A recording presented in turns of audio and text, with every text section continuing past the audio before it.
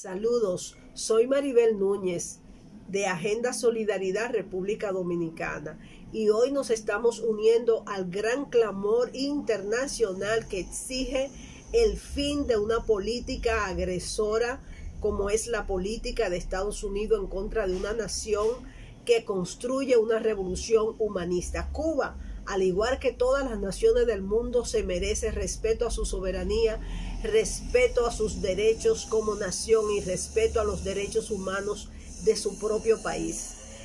Las políticas agresoras económicas y sanciones económicas y el bloqueo económico de Estados Unidos violan los derechos humanos de todo el pueblo cubano.